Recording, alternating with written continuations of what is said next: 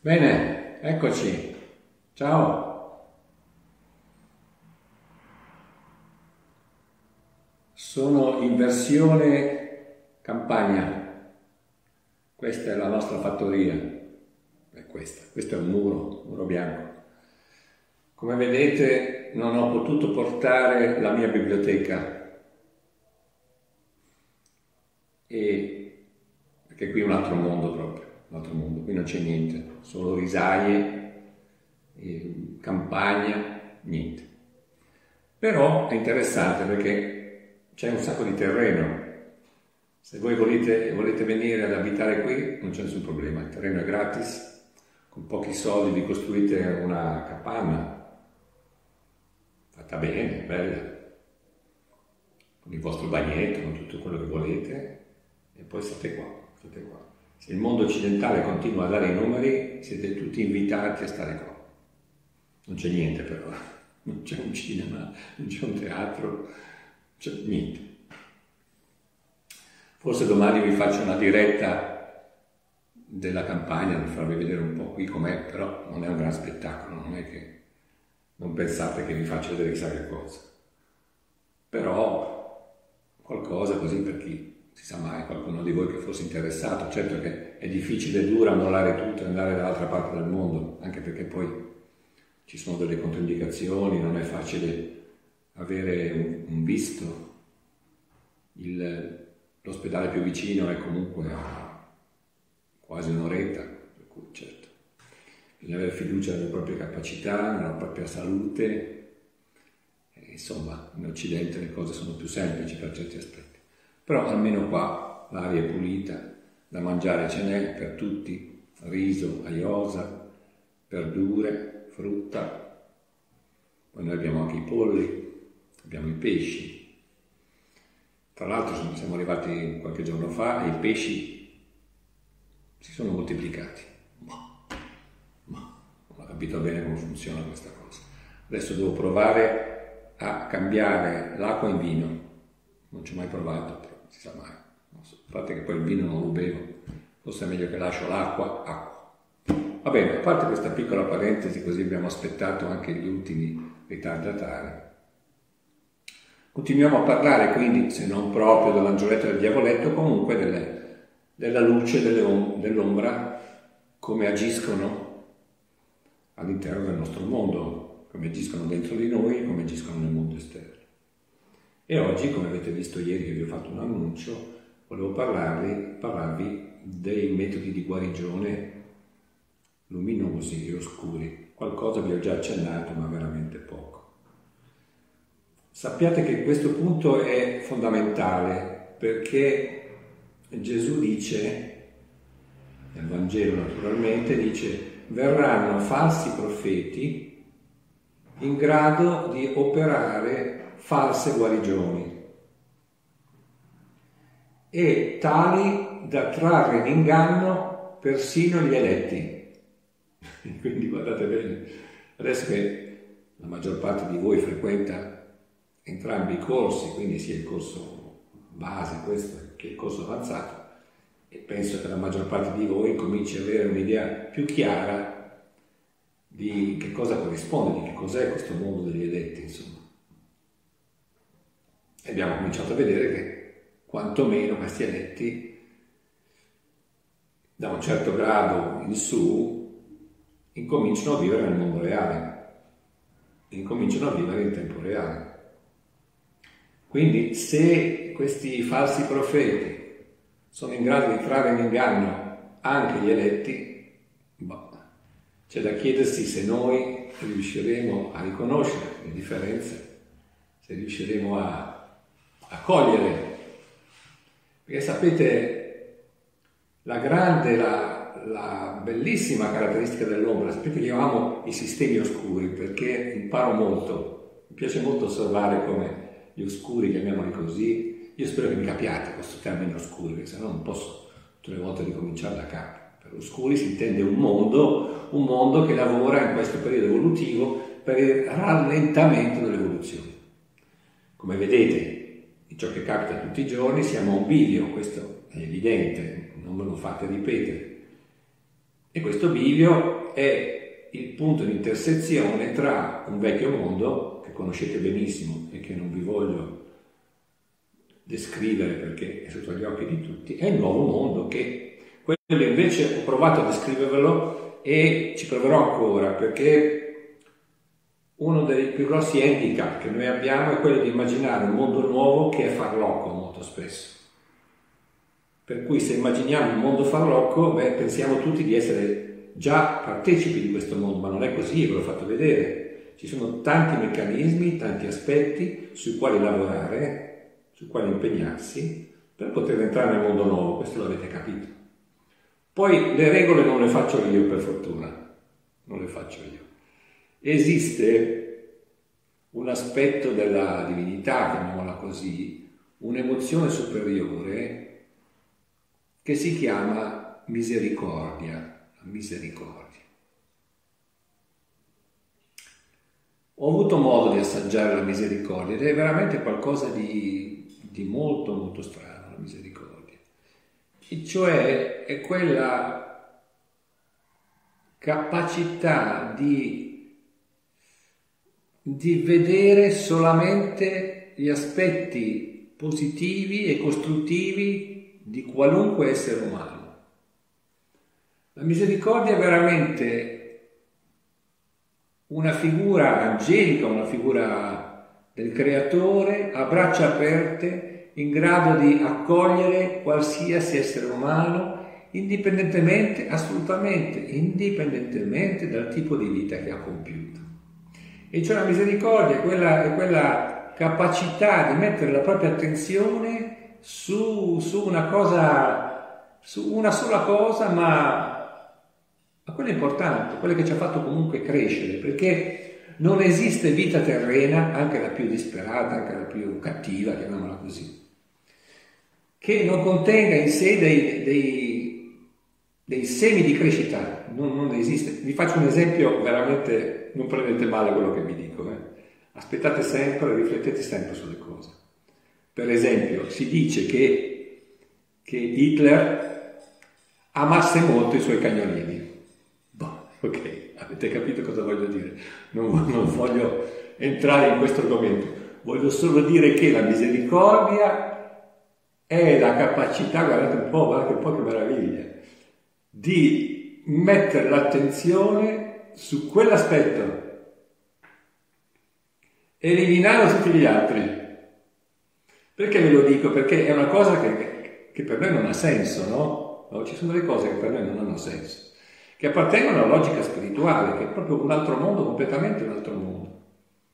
E vi auguro di assaggiare la misericordia, eh? perché si, si, può assaggiare, si può, se ne può sentire il sapore, eh? sembrano cose poetiche che vi dico, ma sono molto precise se ne può proprio assaggiare il sapore. Sono delle cose che accadono ogni tanto, se siete attenti potete cogliere degli aspetti dell'esistenza che altrimenti passano completamente inosservati, perché tutti quanti noi abbiamo in embrione tutte quante le emozioni superiori. Vi ricordate cosa sono le emozioni superiori? Il perdono, la tenerezza, la compassione, l'affetto, l'amicizia, tutte queste cose che vedremo un po' alla volta una per una per cercare di inquadrarle bene nel cospetto della logica spirituale, va bene?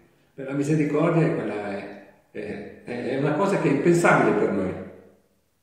È impensabile che arrivi un, un, criminale o qualcuno che ha ammazzato gli altri, no? qualcuno che arriva e sei tu a giudicarlo e, e vedi solamente quei momenti di tenerezza, di affetto che ha dedicato a una persona, a una situazione, una, un momento di commozione, no? è, è fantastico però per noi incomprensibile. Esiste per esempio nella nostra cultura cristiana, esiste un, una cosa, un aspetto, un concetto che è incomprensibile anche quello, ed è quello della remissione dei peccati, la remissione dei peccati. E cioè, non so se vi ricordate, si andava al confessionale, si diceva al parroco, si diceva guarda ho fatto questo, ho fatto l'altro, mi sono comportato male, ho detto qualche parolaccia brutta, mi sono toccato il pisello, una volta era così, bisognava proprio dichiarare tutte le cose, tutte le cose che allora erano considerate non buone, insomma, no? non, non, non morali? Non conformi a una certa morale. Allora bisognava dichiarare tutto, ho fatto questo, ho guardato il sedere alla vicina, poi ho rubato un uovo al vicino, no? un po' tutte queste cose qua. E il parroco, il sacerdote, ci diceva va bene, almeno una volta era così, adesso non so più, adesso è un po' che non ci vale, però una volta diceva va bene, tre padri nostri e due Ave Marie. È fantastico. Per cui si usciva al professionale,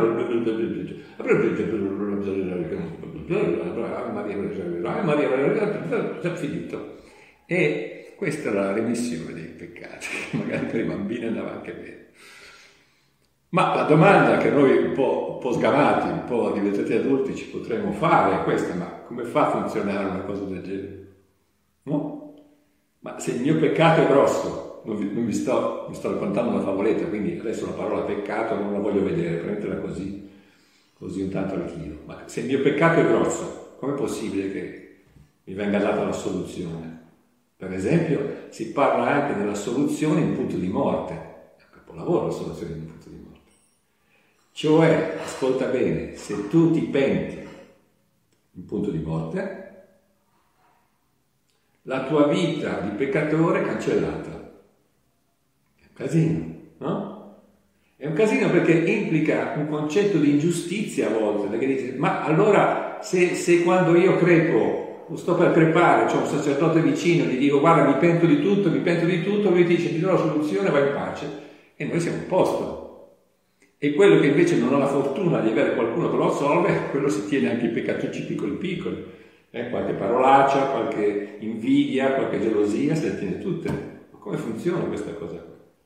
C'è effettivamente, esiste questa cosa qua? Eh, esiste sì.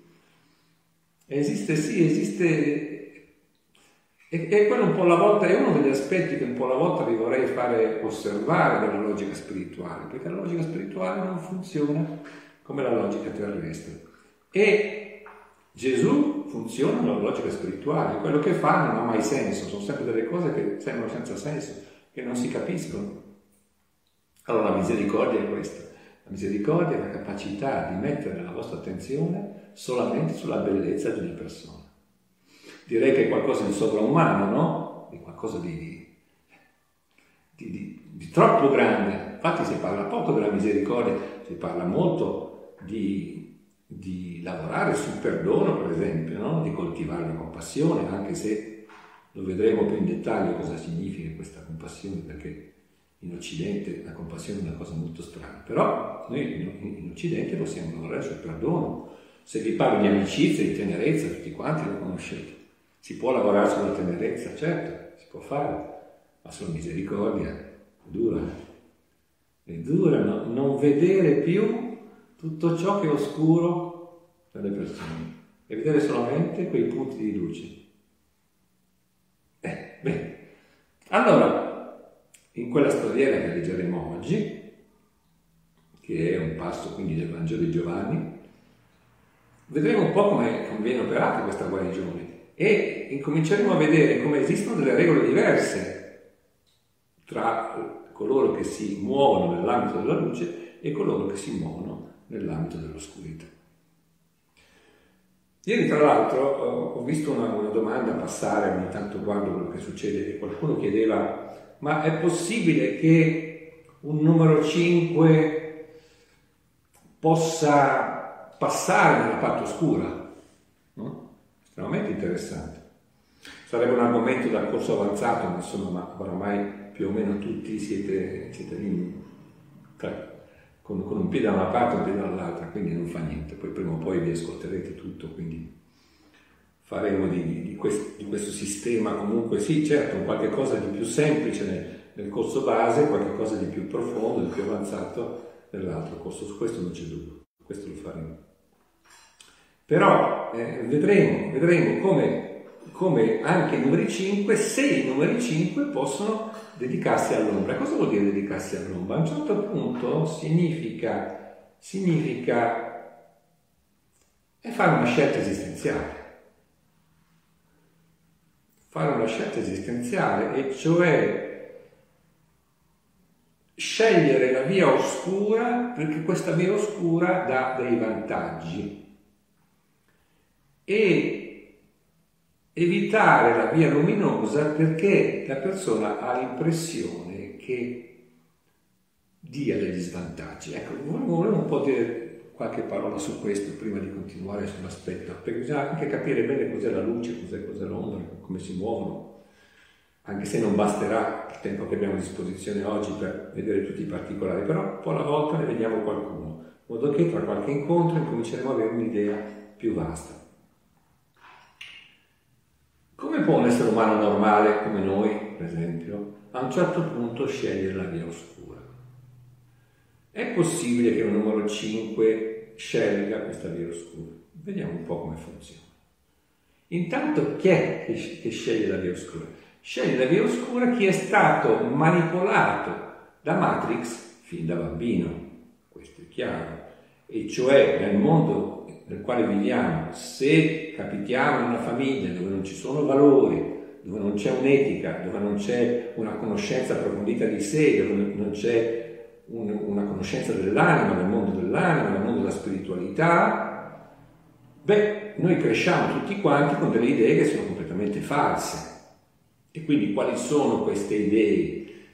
Le idee sono che la vita vale la pena di essere vissuta se uno si arricchisce, se uno possiede delle cose, se uno, se uno ha quello che vuole dal punto di vista della personalità. Questo è evidente perché se non c'è la cultura dell'anima, evidentemente tutti quanti noi cercheremo di realizzarci, questo è lo scopo della vita.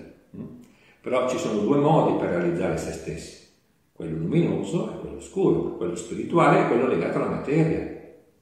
È semplicemente così. Ricordate che noi viviamo in un mondo che è succuba del sistema di addormentamento, questo oramai ve ne siete accorti, in questi giorni, in questo caos, in questo momento evolutivo, è, è facilissimo vedere come funziona.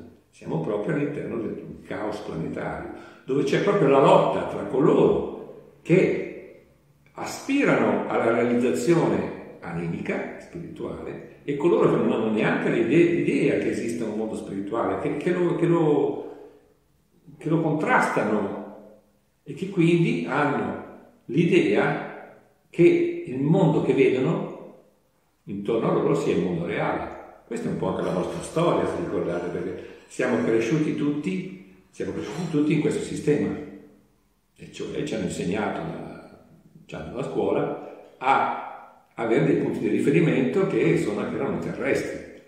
Un giorno avrai l'automobile, un giorno avrai la casa, la villa, la piscina, queste cose qua, quindi ci sbattiamo, ci sbattiamo per ottenere le cose che vogliamo. Fino a quando nasciamo un mondo spirituale. Questi sono i numeri 4, ricordate?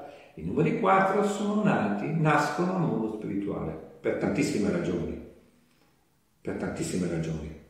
Perché può essere qualcosa che, che abbiamo acquisito nel tempo, nel tempo remoto, e che improvvisamente risorge da un certo punto di vista, si chiama ricapitolazione, si, si ricapitola all'interno di sé, perché a un certo punto ci guardiamo intorno e diciamo ma io non mi riconosco in questo mondo ed è chiaro che tutti quanti voi che fate questo tipo di lavoro è evidente che vi siete svegliati da quel punto di vista, che siete nati nel mondo spirituale. Questi sono i numeri 4, no? che incominciano a chiedersi se c'è qualcosa di più e un po' alla volta questo qualcosa di più appare sempre più reale. Per il numero 5, dal 5.4 in su, il 5.4 incomincia a vivere nel mondo reale, e cioè incomincia ad accorgersi che le storie raccontate nell'induismo, nel buddismo, nel, nel cristianesimo sono reali, e cioè che effettivamente esiste un mondo vero intorno a noi, che si incomincia a toccarlo, a vederlo, ad ascoltarlo. Eh? Questa è un po' la nostra storia. Noi stiamo lavorando per entrare in questo mondo nuovo, in questa visione nuova del mondo, no?